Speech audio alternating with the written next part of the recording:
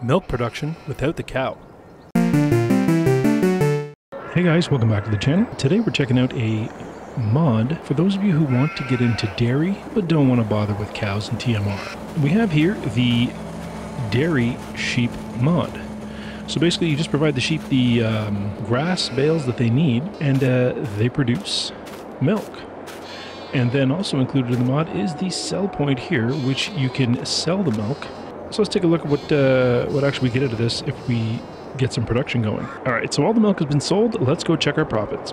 Currently, for this month, we have $17,389 of harvest income. That's $17,389 that we wouldn't get otherwise without this mod. So if you guys want to get into dairy but don't want to have the hassle of mixing TMR for the cows, go ahead and grab this dairy sheep mod. You're leaving money on the table if you don't. Well, that's going to do it for this one.